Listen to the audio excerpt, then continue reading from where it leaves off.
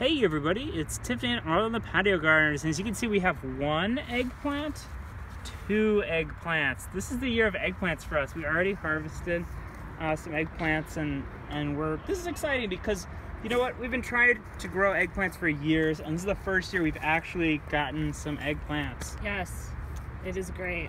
Yes, um, speaking of, of things going on this year as opposed to last year, um, here's one thing that is exactly the same.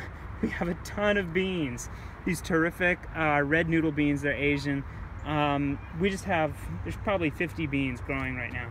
We can't eat them as fast as they're growing. We can't keep up with the beans, Yep. uh, but we're, we're trying our best. Um, Tiffany, what else do we have growing? We have some tomatoes here. Yeah, look here, down here.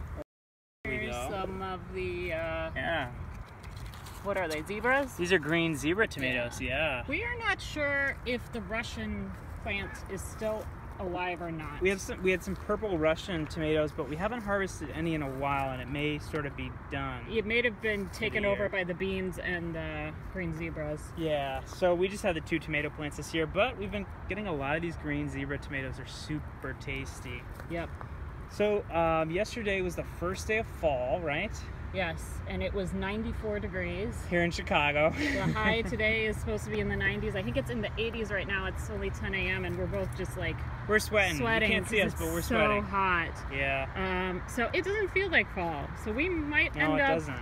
with a long. Yeah, kind of a prolonged growing, Growing season. Look at this waterfall of beans here. There's just so many of these long beans, and they just keep growing and growing.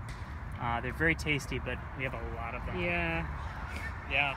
So that's kind of what we have growing in our community garden plot here in Chicago. We'd love to know how your plants are doing at the beginning of fall. Uh, please go ahead and leave us a comment.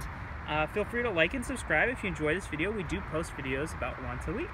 Thanks for watching. We'll see you next week. Bye. Bye.